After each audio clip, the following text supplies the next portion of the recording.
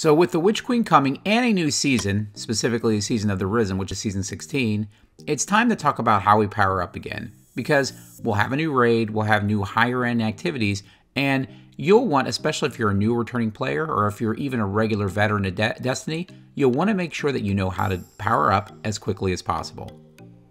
So first off, a couple of key concepts. Within Destiny, you have a soft cap, a hard cap, and a pinnacle cap. So your soft cap is what you get from just playing the game. Just play the game, get drops, you get to your soft cap. Once you get through the soft cap, you're basically then want to go get through the hard cap. And to get to the hard cap, you're basically going to play what we call powerful rewards. Powerful rewards are scattered all over the game. And you'll see them if you go to the director different activities, you'll see things denoted with little yellow icons that say powerful rewards. Now, these will change from season to season, so I will put a comment in description what the latest ones are so you can keep up to date. But in short is primarily from turning in bounties at core activities, from doing things like rank resets on the core activities, playing usually what some of the seasonal activities are, and also some of the older content. So not something that's really, really old, like for instance, some of the older raids, but usually the raids from the previous year are also going to be in there. Once you get through those, then you're going to do your pinnacle activities. Your pinnacle activities, for the most part, are higher end activities. It's your latest raids, your highest end, you know, Grandmaster Nightfalls, playing Nightfalls at certain scoring thresholds, things like that. But you can also get them as a casual player through just going through and playing the core activities a certain amount of time every week. How these are sequenced is for this season is specifically to get to 1500. That's going to get you to your soft cap. And again, you just get that through playing the game. One of the other concepts to keep in mind is that your power level is determined by a, a few things. So first off, it is the average of all of your highest gear, and that's in the vault, and also on your current character. So it is character specific. So for instance, it will take whatever you have, even if it's not equipped, and what's in your vault, it will average those, and that will tell you what your current power level is. So when you first come into Witch Queen, you're going to be everything in your vault, everything you have on you is going to be increased to 1350. Again, if you just play the game and you average those out over time, so if you get different drops, whether it's weapons or armor, you're going to get up to 1500 by just playing a game. So my recommendation to begin with with Witch Queen is first off do that, and then also just do the legendary campaign. So one of the things that's really cool in this release is they're gonna have a legendary campaign that by the end of if you play through on one character, and you can do this on all three characters, you can basically get 15, 20 gear by just playing the game. So I would not do anything else. Obviously, I would make sure you get the artifact as soon as possible because you want to make sure you get that artifact as soon as possible. In fact, that's the first thing you should do in the game. Before you play the legendary campaign, you should go in and do that introductory mission for the season because as you gain XP and as you use the other video that I put in place, you'll be able to get additional power on top of what you currently have. And that's that's free for just playing the game. So then again, play the legendary campaign. There's going to be opportunities probably within the campaign to exit out and do other activities because typically what happens is they'll require you to play the strike that's with the specific season, right? So you'll need to do those things.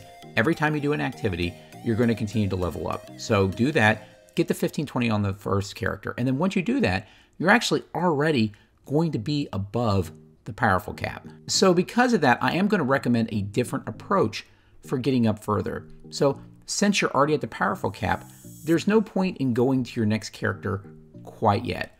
I would take that main character at that point. You finish, you've probably finished most of the things for the seasonal content. In other words, you're you have your artifact and you're ready to go with whatever the seasonal activity is. And you'll have finished a legendary campaign.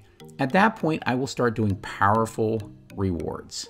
Then again, once you finish all those powerful rewards, you're basically going to get be up to something getting closer to the pinnacle cap. Now, one thing to keep in mind as you're doing your powerful rewards, and even as you're doing legendary campaign, you want to do min-maxing where possible. And what I mean by that, so it's basically your power level is the is the average of all of your pieces. Well, sometimes you have a gap, so maybe you have most of your armor is at the same level, but maybe you have one that's like five below the other. Well, that's obviously dragging you down.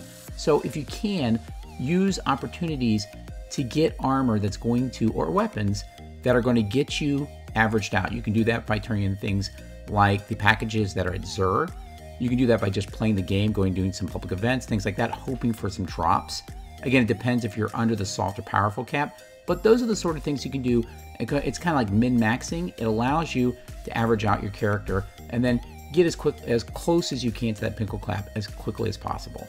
Now at this point, you're probably not to your pinnacle cap, but it doesn't hurt at this point in the first week to go ahead and do all your pinnacles because those again will let you get closer and closer because they're higher level. They will let you get closer and closer to that hard cap, which will allow you to then get into your pinnacles and then get even higher up. Also, while you're doing this, make sure to continue your XP gains. Use some of the other things I did in the other video because that XP power that you have that goes in your seasonal pass is also going to add and again allow you to get up as quickly as possible and also allow you to get raid ready. At this point, I'm not going to recommend what I've done in previous seasons. So since you automatically have basically when you get the 1520 gear from that legendary campaign and then you finish all the powerfuls, you're going to be, you start at 1500, you need to get to 1550, you're almost at half already. My guess is by the time you do all the powerful drops, you're going to be two thirds of the way already to your pinnacle cap right? There is no point, unless you just want to do it for completionist reasons, to go in and do the legendary campaign on the other characters.